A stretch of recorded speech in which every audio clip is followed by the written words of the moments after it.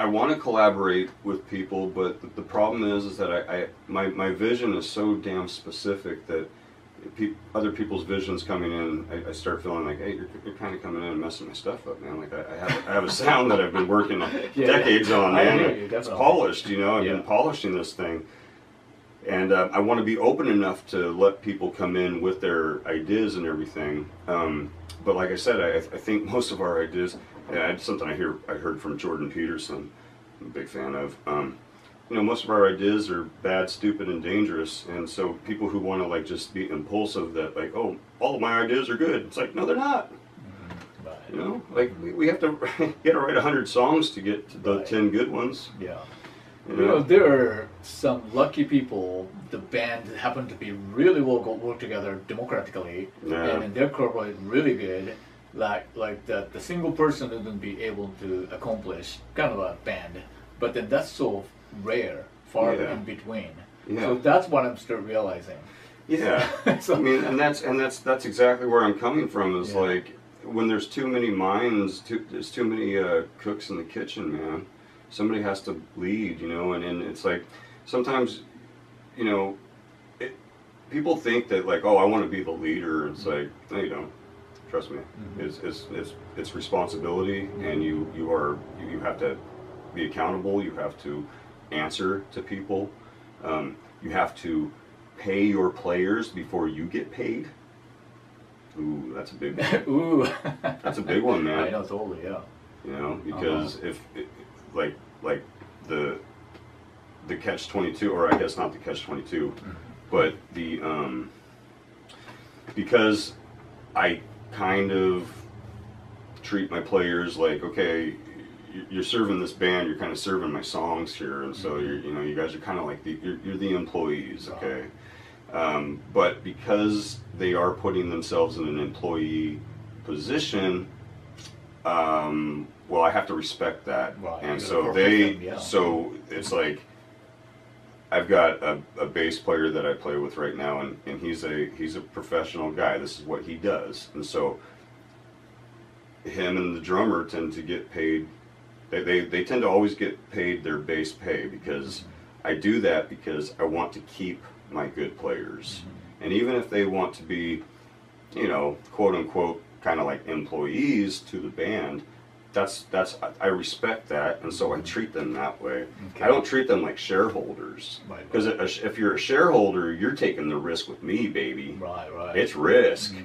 And the way that I uh, balance that out is that when when I do come across a really good paying gig, because they happen, Mhm. you know, you know, thousand bucks for a gig, Mhm. they happen. Wow. Um, but when those days do show up, hey, I, I treat everybody, you know, a little bit better. But on those on those occasions, I will actually pocket some of the remainder. I'll cut everybody equally, and if there's remainder, it's going to the CEO.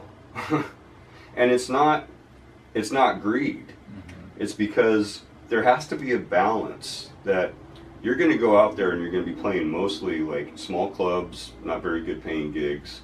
And so, in order to keep the band happy, you, you have to put them first. And you have to be willing to kind of take that hit. Like, okay, well, I'll, I'll try to make my money up in CD sales, t shirt sales, and tips, right? I see, I see. So, so- that can actually help and sub- subsidize, so that way I'm not getting basically, you know, I'm getting 50 bucks at the end of the gig. Everybody else is getting 100 because you know I, I don't want to be Right. unfair to myself. Mhm. But there's times where you have to be, Right. yeah, because otherwise you're not gonna you're not gonna be able to keep your, your good players. Right. And and so there is there's it's a bit of a double edged sword, you know, like you you don't really want people to like have an employee mindset because they're like, okay, well I'm here, I'm playing, and pay me, fuck you, I'm out. Yeah. That's not in my job description. Yeah, yeah, yeah, yeah. I'm not gonna do that. It becomes impersonal. It's like, dude, it's a Yeah. band. It's like this is the most personal thing that you know. We're on the road together. We're like, you know, cramped in a van. Yeah. You know, it's like we're we're in this together. Right. But So I got a question about Yeah. pay. Like say, whenever you play a gig and then you get paid, and then of course you pay your you know, the people you were playing with. But how about the time for preparing for, you know, rehearsal to come up with the three-hour set? Do you pay for it, or just uh, that's like, So there there are times if if I feel like okay we've got a really big gig but you know, because you're already established with those, you know, hiring people. But Yeah, say, you know, in my but- position, I'm, I'm gonna start okay hiring people. right Then we gotta come up with a three-hour set. So we Yes. got a lot of rehearse. So basically, what what I do when when I have to rehearse for a gig, and it's like a you know a very important gig, there are times where I will pay people their gas money to rehearse. Okay, so gas money level. Gas money. whatever that means. Okay, good. That's good to know because that's the one like. I'm sorry, but like you know. If you think you're gonna profit off of me by showing up to practice, Yeah. that's not gonna happen. I You know. know what I mean? Like that. I mean, well, it's like I mean that's that, and that's the problem is that like a lot of these, a lot, a lot of the players will actually act somewhat psychopathic to towards the leader, and they'll be like, "Hey, man, I'm entitled to get, I'm entitled to getting paid."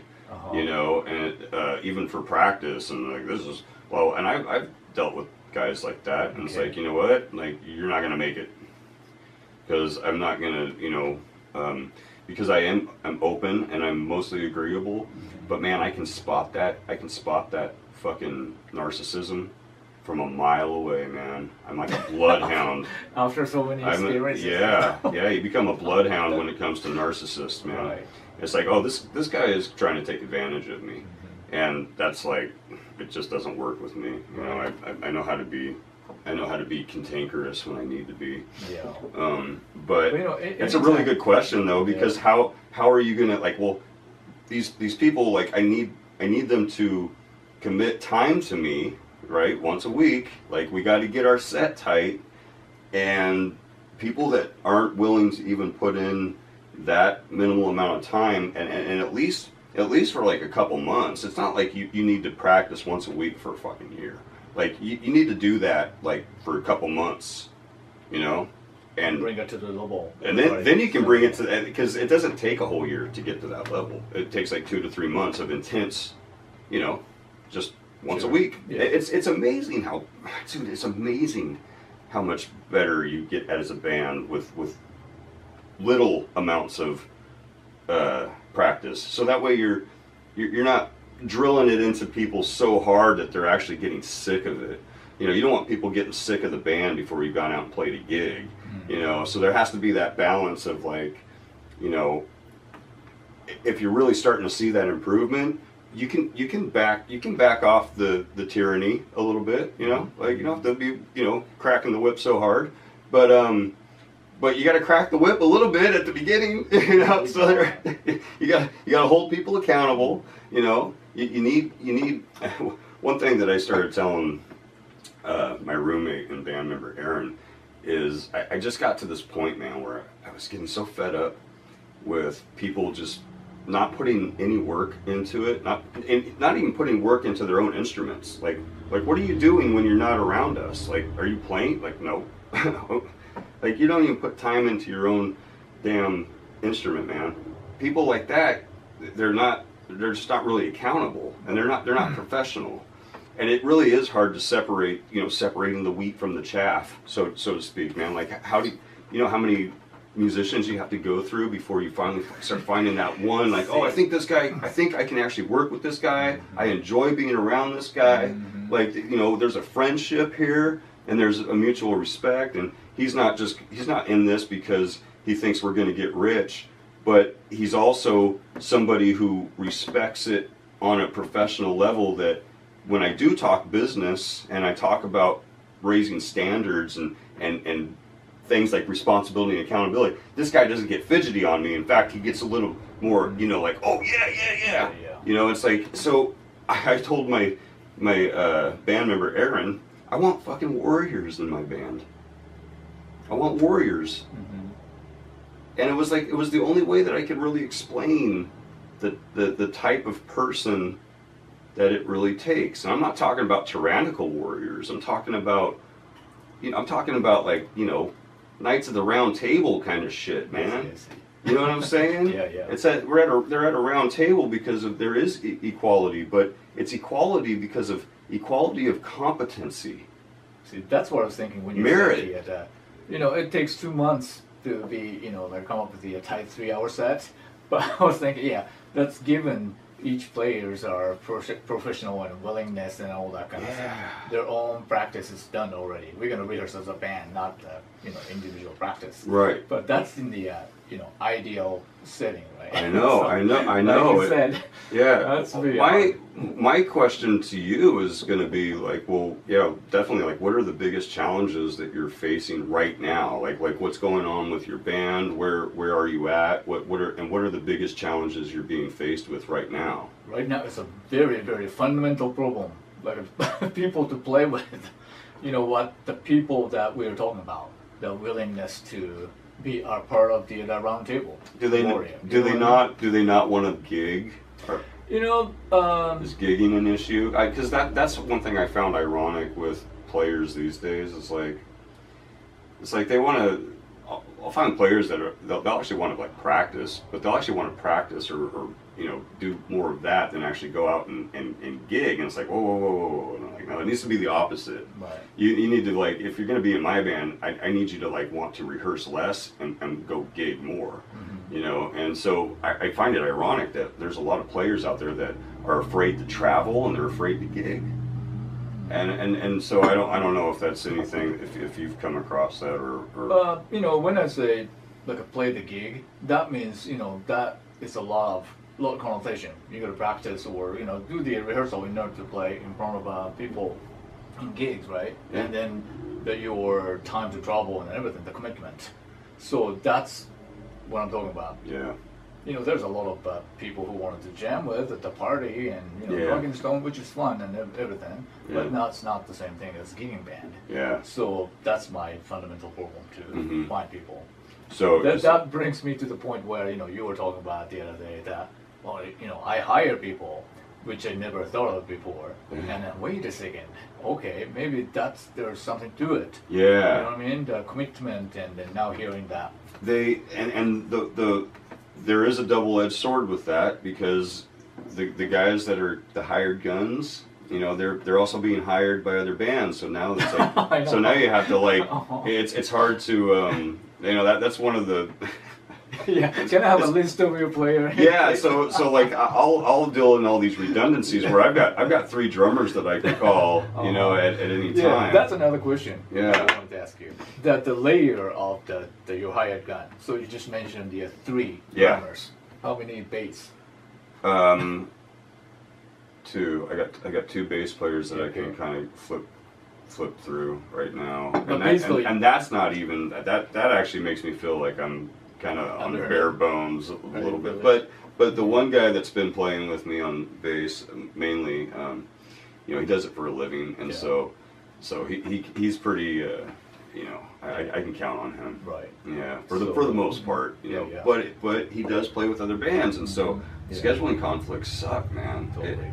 but that's so yeah, that's how I deal with it. I I, de- I deal in redundancies, Mm-hmm. and then it does take time. That you know you're gonna have to get tight with all three variations right, of that. Right, right. You know, and it's like, but when it comes to gigging and booking gigs, I don't ever want to be in a position, and and and because I, used to do this, I used to like, um, I get a, a gig opportunity, and then I would say, let me call you back in a couple days Okay.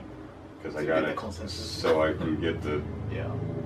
approval from everybody. That And- makes sense though. Yeah, but But you want started to really able to irritate yes. me because I need to be in a position where it's like, oh, I got this gig. What's the date? Mhm. Okay. Because if if I can do it, Right. that should be Right. Right. that's ample. Like I'm Yeah. technically I'm the only guy that has to show up, and that that's another uh, attribute to going under my my name. Right. Technically, I'm the only guy that has to show up. right. That Ugh. makes total sense though. You know, but that's the thing, man. It's like if you're gonna, you know, if you're gonna be the leader of anything, all that shit rolls downhill. All the problems are your problems. Everything is your fault. It's all your responsibility. It's all your accountability. And and there are some people that fucking fold. They fold under that kind of pressure, man. They don't want to be. They don't want to be accountable for other people, man.